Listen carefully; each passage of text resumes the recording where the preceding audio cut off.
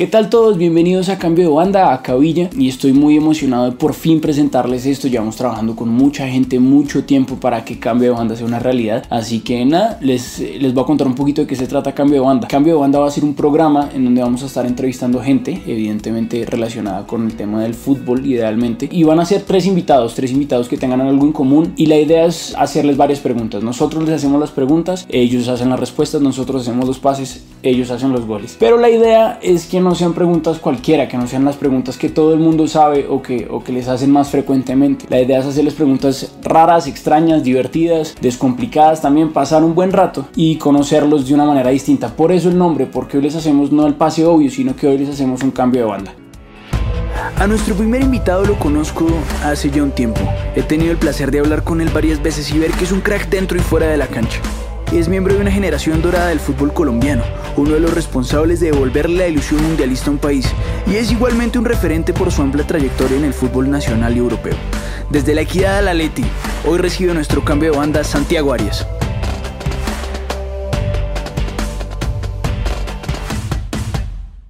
Santi, ¿cómo vamos? Hola Juan, ¿cómo estás? ¿Cómo va todo? ¿Cómo va esa cuarentena? Ahí, tranquilo, dándole aquí en la casa y bueno, ya retomamos entrenamientos otra vez. Ok, ok. ¿Y cómo va la cosa con Luca ahí que acaba de llegar y qué? Ah, Luca no se entera de nada, ese está más relajado, vive sabroso. ¿Sabe yo que vi? Me pareció igualito a usted. Yo creo que Tiago es igual a Karim, pero Luca es igualito a usted. ¿Será? ¿Será que sí?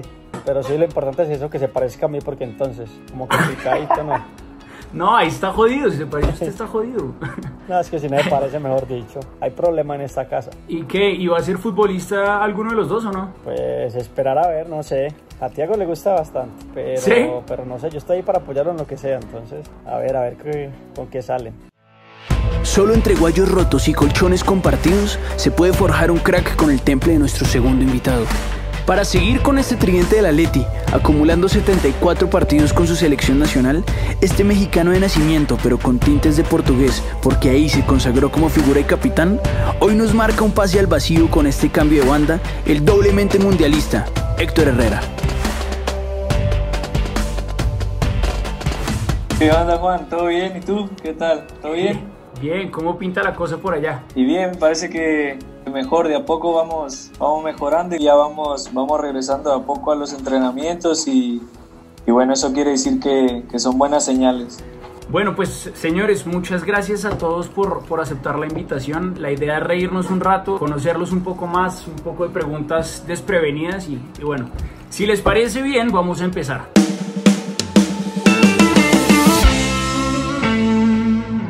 Bueno, yo creo que hay, hay, hay, muy pocas cosas en el, en el mundo del fútbol que, que, digan más de un jugador, ¿no? Como el color de sus guayos. Yo creo que esa, eso a uno le dice el ADN de lo que está hecho un jugador y, y dice de dónde viene, de cómo era esa, esa, esa primera relación con el fútbol. Santi, ¿cómo, era el, ¿cómo eran sus guayos? ¿Cuáles eran sus guayos favoritos cuando empezó a jugar, cuando se enamoró de, del fútbol? Uy, eso fue hace rato. Yo no me acuerdo. Yo sé que en ese tiempo eras, eran negros, todo negro. No sé, ahí todavía estaba esa moda de los negros, eso no había llegado a los de colores todavía. No sé, pinche, pinche que es más viejo que yo, seguramente sabrá. yo me lo regaló mi papá. Sí, yo, yo, me acuerdo que los primeros que tuve fueron así, unos que me regaló mi madre y eran de béisbol, no eran de, de fútbol. Imagínate. O sea, le, le, tocaba jugar fútbol con, con guayos de béisbol. Con guayos de béisbol, sí. Yeah. Sí, sí. ¿Y cómo es eso? No sabía que eran de béisbol aparte. Supe que eran de béisbol la, hasta después, ¿no? Que, que, empecé a jugar y mis amigos me decían que eran medio raros, entonces ahí, porque eran como de botita, ¿sabes? Que los de béisbol son como de botita. Sí, sí, sí, sí, sí. Entonces, lo mío eran así, de botita, y yo no me daba cuenta que eran de béisbol. Yo pensaba que eran, que eran de fútbol y que, que eran los mejores. Desde chiquito Pero la eso moda, también papi. me tocaban así, igual estaban pegadas al pie siempre. Los total 90 solo de lejos, ¿no? Sí, de lejos. Sí, Ah, sí, no- sí, sí, sí. No alcanzaba. Óigame, y, y digamos que de esos días hasta hoy, ¿qué, qué queda? ¿Siguen jugando como con esas mismas ganas de, de jugar a la pelota como en el barrio, de jugar, qué sé yo, en el pony fútbol o, o lo que sea, como con esa inocencia? ¿O ahora que digamos que pues viven de ello, eh, ha cambiado un poco su manera de ver el fútbol? Ah, yo creo que, que va un poco de, de todo, como dice el, el pinche. ¿no? Porque yo creo que el gusto y la pasión por el fútbol está siempre, ¿no? Pero obviamente ahora es una, una responsabilidad que no juegas como, como en el barrio, ¿no? Por, por la coca o por cosas así, ¿no? Yo creo que es con la misma alegría, pero con una responsabilidad del saber que, que dependes de ello y que, y que estás representando un club importante que lucha por cosas, ¿no? Eso es lo que yo, yo pienso y, veo de, de mi parte, ¿no? Juan, yo creo que mi parte es la parte de diversión. Que al final tú te diviertes, pero lo único que te cambia es, como dice Héctor, es la responsabilidad. Pero, pero esto es lo que te mueve a ti, esto es lo que te gusta, lo que te hace feliz. Entonces al final te estás divirtiendo. Eh, cuando eres niño pues te diviertes, lo tomo más como hobby o como, como algo del momento, pero, pero claro, a medida que pasa el tiempo pues se te vuelven en, en una profesión. Creo que es, es, lo más bonito llegar a, a un gran equipo, llegar a una, a una selección y, y mirar hacia atrás y darte cuenta que, que, todos esos sacrificios, esas cosas buenas que hiciste, al final tienen su resultado. Claro. Oiga, bueno, y digamos que, que en el fútbol yo creo que hay muchas muchas cosas que, que la gente probablemente no sabe y, y, que creo que a la larga tienen un secreto muy bien guardado en el fútbol, ¿no? Y es como, ¿qué hay en un camerino? ¿Cómo es el ambiente de un camerino, de, de, del, del vestier, de, de qué sé yo, van a salir a un derby, ¿sí? Por ejemplo, Herrera, ¿quién es, ¿quién es el que más jode en el camerino antes? ¿Quién es el que pone la música? ¿Quién es el que está así gritón? Ah, ya, uh, Diego Costa yo creo que es el que más jode. Se bromea, que no... Me da igual la, la, situación que esté, igual y todos están súper serios y él está, está, jodiendo hasta el mister, imagínate. Capaz que es una manera de, de relajarse o de, de concentrarse, de sacarse la presión que, la va a tener el partido. ¿Y ustedes, ustedes son muy supersticiosos? O sea, ¿tienen alguna cábala, algún ritual antes de salir? ¿Ponerse el primero la media derecha, alguna vaina así? Cuando era más joven sí tenía muchas, pero la verdad que ahora ya no. Me he quitado eso de, de creer que es una, una, forma de que voy a hacer las cosas bien y eso. Pero cuando era recién empezaba así, me ponía los mismos calzones, los mismos calcetines, todo, lo, lo, que, todo lo que, lo que fuera posible. Sí, sí, Todos pasamos por eso. Sí. sí. Y, y, y, cuando ganaban más, cuando perdías había que cambiarlos. Héctor, digamos, ¿con qué jugador retirado le hubiera gustado jugar, por ejemplo? Con Riquelme. Juan Román. sí, sí. ¿Y por qué? Es el jugador que yo más admiro en el fútbol. ¿Por alguna cosa en particular? ¿Por su visión de juego? ¿Por su sí, cambio de velocidad? Lo que sea su visión de juego, su trato de pelota, por todo, la verdad yo creo que en lo personal para mí es el mejor. ¿Y has podido coincidir con él, así sea por fuera de la cancha, algo? No, nunca, nunca, nunca. Santi, ¿usted? El mío siempre ha sido Ronaldinho. ¿Sí? Sí, nunca me enfrenté nada. Y claro, pues obviamente es más viejo, pero, pero sí me gustaría conocerlo y la fotico. Bueno, y habíamos dicho que eran tres invitados y por ahora solo hemos hablado con dos. Así que ya me están diciendo que por acá está nuestro tercer invitado, acá se los presentamos. En un principio le dijeron que no tenía condiciones y hoy a su corta edad se consagra en la mejor liga del mundo como un centralazo. Se dedica a callar bocas ganando distinciones individuales y colectivas y la lleva rompiendo muchos años ya. Nuestro siguiente invitado desde Toledo, desde el Río de la Plata, desde la tierra charrúa, Hoy baja el balón de este cambio de banda Josema Jiménez.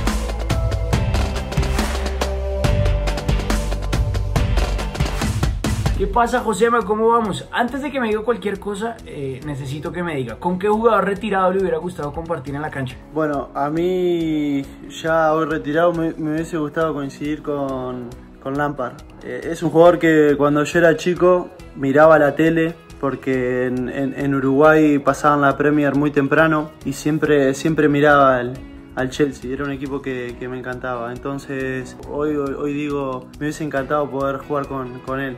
Pero bueno, después ya uno de grande cuando va viendo que en la posición que uno juega se fija mucho en los jugadores de, de, su, de su posición. Claro. Un jugador que me hubiese eh, gustado coincidir mucho, sin duda hubiese sido Pablo Montero es ese jugador uruguayo que el capitán que, que yo creo que hubiese sido un, un, sueño poder, poder jugar con él. ¿Y has coincidido también con él? ¿Lo conoces personalmente algo?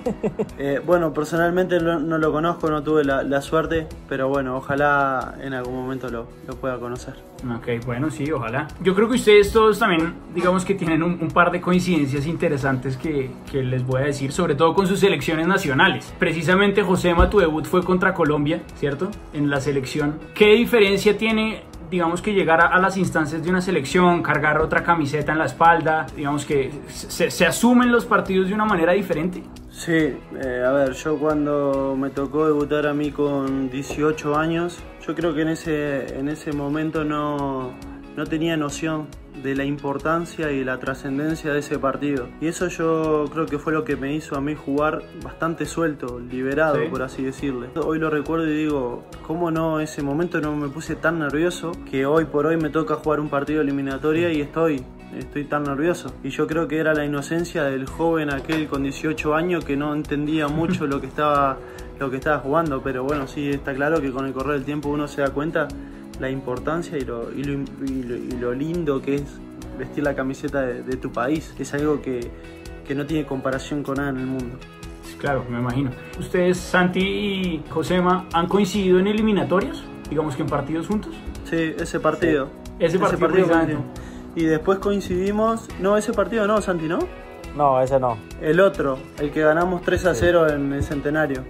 Ese sí. Y luego en. Eh, en y en el de Mundial. También el empate. No, pero yo no fui. En el Mundial. En el Mundial sí, en el pero mundial. yo no fui en claro. Barranquilla, yo no estuve.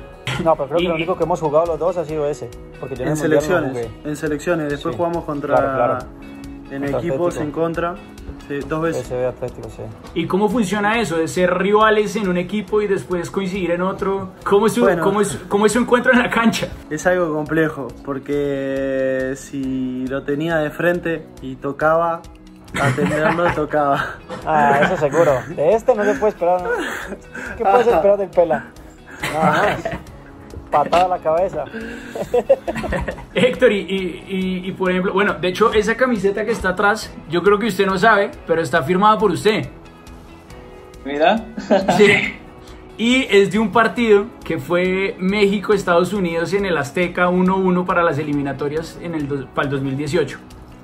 Sí, en el último que, que fue en el Azteca, sí me acuerdo. Que, que, estaba, que estaba muy bueno porque además estaba todo el ambiente de la, de, del muro que iban a hacer y, y, el ambiente en el estadio estaba increíble. Sí, sí, estuvo eh, bueno ese partido. Estuvo muy bueno. Estuvo muy bueno. Y, y además ese, ese, partido pues estaba bajo, el, digamos que la dirección del profe Osorio.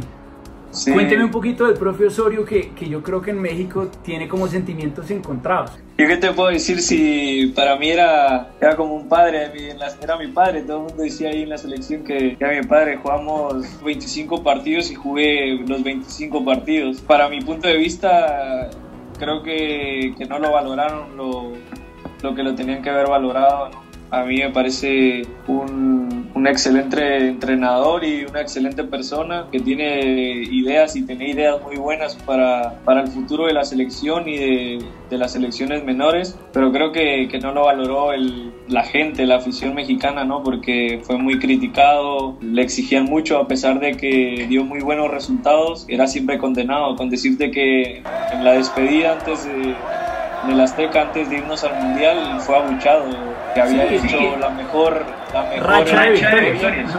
Sí, y antes de irnos al Mundial decían fuera Osorio, ¿sabes? Y habíamos ganado el partido, habíamos hecho la mejor eliminatoria y todo, y le gritaban fuera Osorio. Para mí fue una de esas cosas, pero, pero yo creo que dejó mucho al fútbol mexicano y, y, sobre todo a muchos jugadores, ¿no? Que le dio muchísima oportunidad. Lo que, lo, le, lo que le, gritaban, le criticaban mucho era que hacía muchas rotaciones, ¿no? Que es sí, un, sí, claro, claro. un, un estilo de, de, su manera de jugar, ¿no? O sea, está siempre rotando y cada partido hay siete, siete titulares nuevos y eso era lo que sí, lo que no, no le gustaba a la gente en México, pero es muy bueno.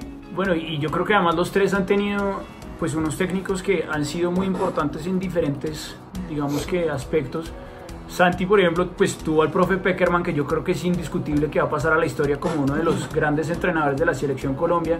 Josema, pues a, al profe Tavares, ¿no? que también es toda una institución. ¿Qué recuerdos se llevan de ellos, de lo que han podido estar con ellos? ¿Qué les deja en su, en su estilo de juego, en todo esto? A mí, en lo personal, el maestro Tavares me deja mucha, mucha enseñanza de, cómo ver las cosas, ¿no? Es un entrenador que siempre lo digo, el, el apodo le, le hace su nombre, eh, es un maestro. La verdad que una de las frases que más recuerdo de él fue el antes del partido contra Colombia que me dijo, José, mañana vas a jugar, quiero que estés tranquilo y que hagas lo que, lo que sabes hacer, nada más ni nada menos.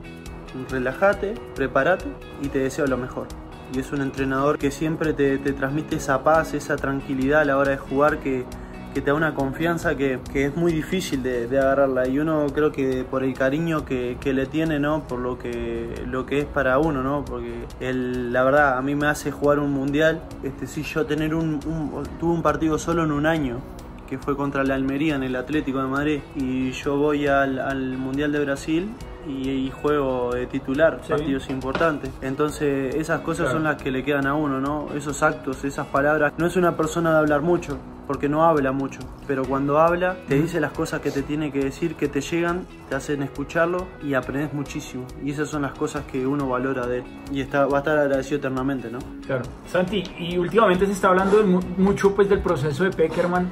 ¿Usted qué opina? Yo, no, yo ante todo agradecimiento. Yo qué te puedo decir, yo no puedo hablar más del proceso del profe ni, ni decirte cosas malas de él, porque eh, gracias a ellos pues llegué a selección, selección mayores. Claro. Tuve total, eh, toda la confianza de él. Una continuidad o sea, tremenda, conmigo ¿no? siempre fue, exactamente, fue sincero. El momento que estaba bien me dijo, Estoy, estás bien. En el momento que, que me veía mal me lo decía y por qué iba a jugar o por qué no iba a jugar. Entonces yo creo que eso, eso hace grande a un entrenador. Eso al final es algo bueno, eh, ayuda mucho al jugador a crecer como en lo, en lo, futbolístico, también me ayudó en lo personal en muchas cosas y yo creo que al final ha sido sino para todos y, y yo creo que incluye también a todo Colombia porque claro. eh, llevó a Colombia a dos mundiales después de mucho tiempo. Entonces yo creo que hay que ser agradecidos en, en esta vida. Puede que haya hecho cosas malas pero creo que nos dejó más cosas buenas. Entonces ahí es donde hay que mirar, recalcar y ante todo agradecer. Yo creo que es lo más importante. El profe eh, nos volvió a meter en, en, esa vitrina tan alta. Yo creo que ahora Colombia eh, lo respetan mucho más. Entonces yo creo que quedó algo bueno para, eh, para el fútbol colombiano. Okay.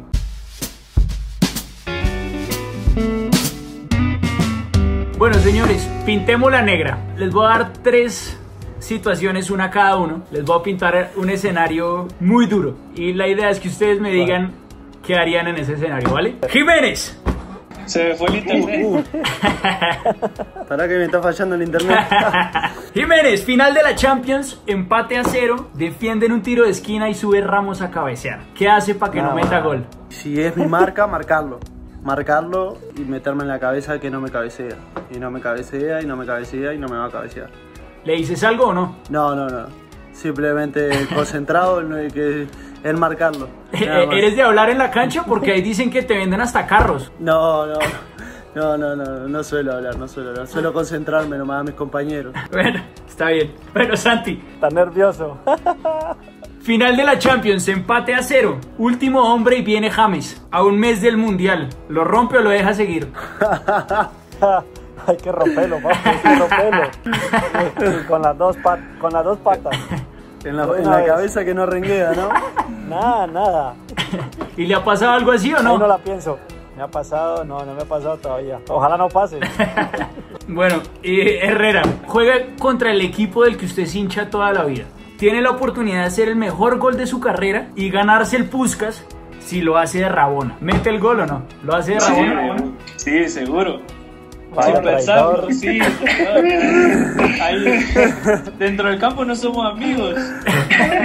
Afuera está todo bien. ¿Y alguna vez les ha pasado como enfrentarse contra un equipo que le tengan especial cariño y decir, no, chao, hay que meterlas? A mí no, a mí no, todavía no. no. Todavía no. A mí no.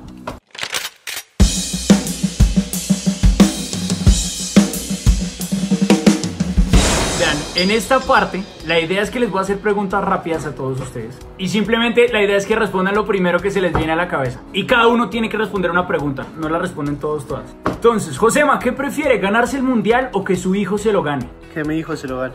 ¿Sí? ¡Wow! No la vi venir. No la vi venir. Santi, ¿qué prefiere? ¿Un regaño del mister o de la esposa? Nada de, nada de la... de- tocando temas delicados. Eh, te metiste al rancho, viejo. ¿Por qué? Eso ¿Por qué? No, papi, eso no. Uy, yo no sé, muy difícil. No, déjame a mi esposa, déjame a mi esposa. Ah, muchos años ya. Ya la sé llevar. Héctor, ¿qué prefiere? ¿Tirar una plancha o que se la tiren a usted? Que me la tiren. ¿Sí? Sí, sí. No. ¿Los demás también? Solo por saber. Sí, eso, eso porque quiere decir que soy habilidoso. Claro. Claro, yo también. Eh, eh, El, que está aquí, el otro, mm, Yo prefiero darla. no lo sé. ¿Viste? ¿Y cu- ¿Cuál es, cuál es la, la- la plancha que tú has dicho? No, en esta sí me pasé. Nada, tiene muchas. Yo, El yo pe- tiene muchas, yo seguro. pegué una, yo pegué una sin querer en un partido contra el Barcelona. Ajá. Es una jugada que totalmente que no la veo, una pelota quieta, que la jugada del Barcelona era un pase atrás y venía un jugador de ellos y le quería y le pegaba. Sí. Entonces yo tenía la marca de, de Piqué y en ese momento veo que va el pase hacia atrás y salgo con el pie extendido para trancarla, sin ver al jugador que venía detrás. Cuando le pega, Uf. trancamos la pelota pero le agarro todo el tobillo. Ta, yo me asusté en ese momento y nada, me disculpé, obviamente fue sin querer, yo no lo veo en ningún momento, la- no, no lo veo venir y esa fue la patada que digo, que dije, Buah. Santi, ¿usted tiene alguna o no? Sí, yo tengo una con el PSV. Una que me tiré en el aire horrible. Salté, me tiré hacia los A lo samurái, Y por allá me, me llevé pie, me llevé la pancarta, me llevé todo. Menos, menos mal fue solo amarilla. Pero después dije, uh, qué mierda hice. Oye, A y- mí ni eso, Qué eh. cagada, qué cagada. A mí ni eso. Oye, ¿qui- ¿quién es el más, ca- pues, el que más se calienta en la cancha? Santi. El pela, seguro. Nada, está loco. ¿Y por qué? ¿Y por qué, Josema? Josema, seguro. No lo sé, porque ni yo me entiendo. soy, soy un tipo complicado, eh. Josema, ¿qué prefieres? ¿Salir de rumba con Ronaldinho o con Maradona? Ay, ay, ay. Ahí te metiste, ahora- te metiste en el tema como el Santi con la mujer, eh. Cuidado, cuidado con lo que vas a responder. Jodido, Prefiero, que, prefiero quedarme en casa con mis nenes y mi mujer. Nah, nah, eso no se vale. Para mí eso no se vale. Nah, así no, así no. Ah, hay que untarse, hay que untarse. Todo amor, todo amor. Toma. Ah, vaya mentiroso. De eso no, eh. Tiene, te quiere tirar al agua, eh. Cuidado. Mira que me ahogo. Y no te salva nadie, papi. No, no hay chance. bueno, vale, vale, vale. Todo bien. Bueno, oye, ¿cómo es, ¿cómo es un viernes en Madrid? ¿Ustedes qué hacen un viernes en Madrid? En casa, papá. Nada, todos los días. Bueno, digamos que no están en partido, digamos que no están en concentración, nada. ¿Qué, qué hacen un viernes? No sé, Cenita ir a la cine. mujer. Disfrutar los hijos, nada más. Ok. Salir un Ah, rato no por ahí con los niños. Pero En yo sé que usted, por ejemplo, en a los, a, a los, a los escape rooms, por ejemplo, Santi. Ah, yo voy, sí, voy bastante. Ah. Pero siempre con la mujer, obvio. ah, no, pues es que yo no digo que no. Ah, por eso yo te aclaro. Te aclaro antes de que alguien el salga a paraguas. porque aquí no falta el Saca el pedal. paraguas, el Santi. Ah, pues yo voy preparado. Se va, cu- se va curando. Buena, Sandy. Ay, papi, muchos años de experiencia, mijo. Héctor, ¿qué prefiere? ¿Nunca debutar en la selección o ser leyenda, pero perderse el mundial por una lesión y que sus compañeros se lo ganen? Perderme el mundial y que México gane. Sí, sí. ¿Los demás también? Sí. Sí, claro. Porque de alguna forma nos Sí, sentimos al parte final de haces eso. parte del equipo. Aportaste para llegar ahí. Y, y- y México campeón del mundo nunca, nunca ha sido. Ah, imagínate. Oiga, sí. ¿Y, y, y qué es eso del quinto partido? O sea, ¿los mexicanos crecen con eso? ¿Como con ese estigma? sí, ya nace pensando en eso. ¿Y, y- y qué? Es ¿Cómo una, se una presión, es, eso es como ganar el mundial para México. ¿Y cómo se afronta ese, ese partido? Tiene que ser muy distinto a los demás. Sí, es como una final pa- para nosotros pasar a ese partido. Yo creo que yo creo que la presión la presión nos come. nos come porque yo estuve en, en los dos y pasa siempre lo mismo. Santi, ¿quién va a ser balón de oro en el 2025? En el 2025. Ya ve las opciones. O tengo No, que decir yo dígalas uno, usted, ¿qué? dígalas usted. Josema, Héctor o yo. ahí está, ahí está. La, la terna finalista. Papi, hay que, hay que untarse, preguntarse bien. Bien, bien, Bueno, bien bueno ahí. pues, pero entonces úntese más. ¿Quién, ¿Quién se lo gana? No, es que creo, creo que el pinche ya está de salida y es que yo no sé si llega hasta por allá. Estoy con, con un bastón a esa. No, yo, yo quedaría, yo quedaría de primero y el pela ahí detrás, pero yo lo arropo. Yo la venga para acá.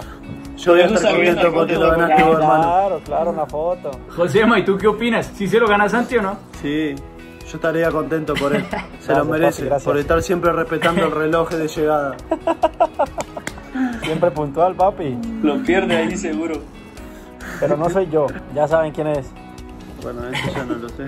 Están los tres pasando cuarentena juntos. Josema, ¿quién termina limpiando los baños? Santi. Está, loco. Seguro. Está loco. Está loco. ¿Y por qué? Jamás. Porque, no sé, lo veo como que hace todo en la casa. Le veo carita de casa y lo mandan a hacer todo en la casa. Ah, a pinche, ¿de qué te ríes? Ahí te tiene la correa, mira. Tranquila. Pues sí. Ay, que te la corten, huevón. No me llegó todavía. El, pe- el pela que habla, si el pela cocina. Todos los días cocina el pela. Claro, le cocina a todos, el pela, a toda la familia. Y porque da. ¿Y, y- Herrera qué hace? gusta? Josema cocina, Santi limpia baños y Héctor qué hace? No, pero yo co- organizo la casa y soy el que come todo. Estoy ahí, estoy ahí. Dale, dale. Yo trapeo. Así se va, Los bien, bien, bien. los traigo. Somos los tres iguales, ¿eh? Al final hacemos Sí, todos va, nosotros. Nos mandan. Eso. Héctor, ¿quién es el peor en FIFA? O Josema o yo. Sí, no sé, yo un- soy muy está, malo, soy muy está un malo. volado. Ustedes son malo. malos. Yo tampoco juego a la play y esos cosas. ¿Y Santi sí es bueno? Porque yo nunca, nunca hemos jugado. Hay que, hay No, que yo estoy a jugarlo. un nivel, a un nivel medio, a un nivel Tiene medio. pinta Sí. de que Tengo juega días. Tengo mis días. Jiménez, Ajá. ¿usted hubiera metido la mano en el partido contra Ghana? Sí, también. Sí. De cabeza. Sí. Esa roja salió barata. Exactamente. Yo creo que todo, todo jugador uruguayo hubiese hecho lo mismo. Hubiese pensado hacerlo. Después que lo haga es otra cosa. Ya. Pero pensar hacerlo seguramente todos los pensaron hacer. ¿Santi era gol de Yepes o no? Sí, era. Obvio, toda la vida. Eso seguro. Así que no.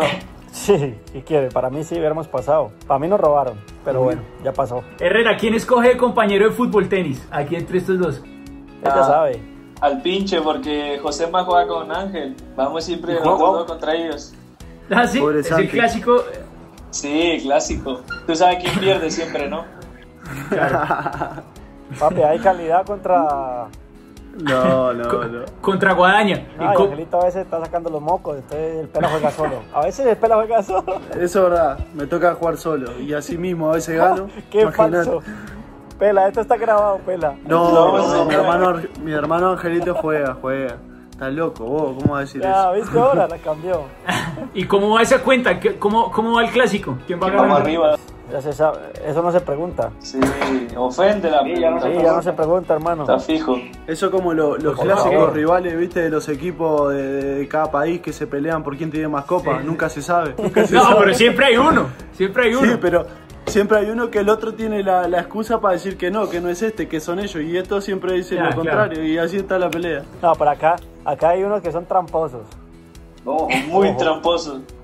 ¿Por qué? ¿Por qué? A mí no me miren. Van de a tres puntos. Van ganando 10 10-1 y de pronto 10-9. Y tú dices, pero ¿cómo así si apenas pasó un punto? Así son. Qué mentiroso. Ah, pela, ¿te cayó? No, pero son mentirosos. vos Te conozco y sé que estás Le, mintiendo. que- le quedó, le quedó. Le cayó. Yo la tiré, pela, me tú la agarraste. Santi, ¿Barranquilla o Bogotá para jugar con la selección? Jugar con la selección. Uy, no me pongas en esas. Bogotá. Creo que cualquiera. Bogotá. No, a cualquier parte. Eh, Bogotá, Bogotá ya ojo, hay altura. Y en Barranquilla mucho calor. Yo creo que en cualquiera, para mí en cualquiera. Mientras sea en Colombia, es lo más importante. Para los rivales, no sé, hay que preguntarle al Pela dónde y al pinche, no sé si el pinche ha ido. No, a Bogotá fui una vez. El Pela sí estuvo en Barranquilla, ya sufrió. No, sí. Está loco. Igual creo que en La Paz sufrí más. Ah, Sí. bueno, allí también es, es bravo. La altura uf, me mató. Allí te ahogas durmiendo. Imagínate. Bueno, Héctor, ¿con quién prefiere subirse a un carro? ¿Con Arturo Vidal o con Balotelli? Con, con ninguno. No, le toca, le toca. Porque, No, pinche, dale, no mires dale. pa- pinche, no mires para allá. ¿Por qué miras para allá? No, man, no hay nadie acá. No, no, no sé. Están igual de locos. No, me, me voy, me voy caminando a casa. Mejor. Sí, ¿Y, y ustedes qué tal son manejando? Nada, normal, yo normal. normal, sí, Eh, normal. Pues ya tuvimos, nosotros ya competimos en karts. El Santi, el, se el loco, el choca y todo, el Santi para ganar el trofeito ese que dan ahí. Sobre ese- todo, eres, si eres tú, ¿no? El, el Odi que se, se rompió el cuello. No. A Lodi le pasa todo, a Lodi le pasa todo. Sí, le Bueno, y la última. Pero José Mamás, ¿qué prefiere? ¿Que la novia nunca lo vea jugar o que la vez que lo vea jugar usted pierda? Que la novia nunca me vaya a jugar, si no la agarro de mufa para toda la vida. ¿Sí? No, igual, igual no vuelve, ¿no? no vuelve a verme más. Sí. Prefiero eso. ¿Por qué? ¿Se pone muy nervioso? No, no, no por eso, simplemente porque bromeamos siempre que cuando van por primera vez a, a la cancha y no ganamos, eh, trajo mala suerte. Entonces no quiero agarrar como Ah, que me trajo mala suerte. Claro, claro, por su culpa. Bueno, señores, muchísimas gracias. Que esto, esto fue el paredón. ¿Qué tal estuvieron ahí las, las preguntas? ¿Muy jodidas o no? No, estuvieron buenas, buenas. Algunas un poco comprometidas, pero buenas. bueno, esa era la idea, que se rieran un rato. Se sacó, se sacó la respuesta, que es lo importante. Se, se- se siguieron las indicaciones del profe, diga. Claro, se metió aquí la del laberinto. Zigzag hiciste. No lo hagas para que veas. Oh,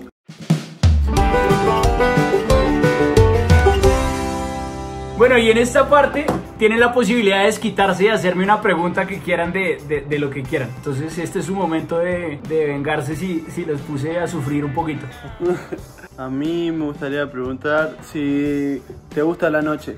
No, me gusta, pero normal, normal. Tampoco nada exagerado. Nada, loco. Sí. ¿Alguno más o no? ¿O me salvé? ¿Con quién irías tú en el, en el tenis balón? ¿Con Josema o con Santi conmigo? Es que Santi es muy malo, marica. No, Santi Es muy verdad. malo.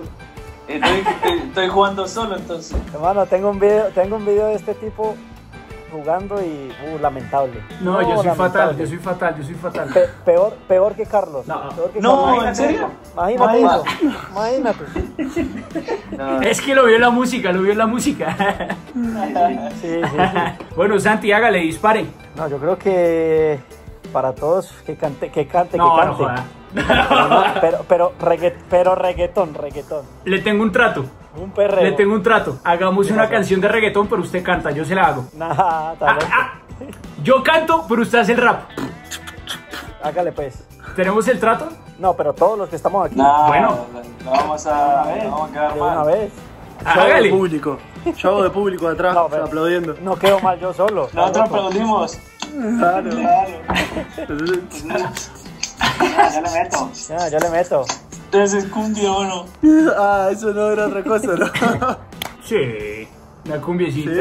Hoy te veo arreglar.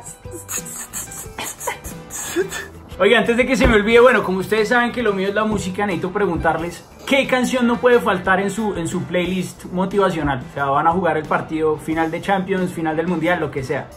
¿Qué canción no puede faltar ese día para que, la, para que la oigan? A mí, en la mía, por ejemplo, una canción de, de Gladiador. A lo último, No. cuando, Brutal. cuando está- el sonido es como un- una música relajante. Unos minutos antes de entrar a la cancha, cierro los ojos, medito wow. y esa ¿Sí? canción. Y a luchar, ¿no? Sí, Tengo dos, esa y la de, y la de vivir la, eh, la de Coldplay. Vivir la. Ah, uff, tremenda. Héctor y Santi. Yo no tengo. No, escucho la que ponga el, el que pone la música en el equipo. La que ponga Costa. Sí, la que ponga así, cualquier cosa. ¿Y ustedes, Santi? No, yo lo que sea también. Nah. Yo no tengo un problema. A mí me gusta toda la. la Perro, usted tenía que decir que morato. Nah. Papi, no, pero es que espere que no acaba. Ah, ya, ya, ya. Es que la, mi lista está Perro. compuesta por muchas canciones. Pero claro, toda, y muchos pero géneros. todas las Entre ellos, de nosotros en las favoritas, Morat. Ya, ya. Claro, Morat, papi. No, una, una muy buena que la tengo ahora y la escucho siempre la correcta. ¿Sí? Ah, de las mejores. Claro, la dediqué y todo, Bueno, papi. va, claro, de cumpleaños a Karen. Y la estuve aquí en vivo y en directo. Señores, pues eso fue todo. Muchísimas gracias por habernos acompañado. Creo que estuvo muy bueno. Así que gracias por haber aceptado esta invitación. No, de nada, muchas Gracias, gracias. Gracias a ti, Iván. Espero, espero que la- la- les- Aquí a la orden. se hayan divertido por lo menos un rato y que les hayan hecho preguntas distintas que yo creo que por lo menos un par de ellas nunca se las habían hecho. De verdad. Eso seguro. Así que nada, señores, muchas gracias. Y nada, ustedes, muchas gracias por habernos visto. Ojalá nos veremos muy pronto en otro capítulo de Cambio de Banda. Así que gracias.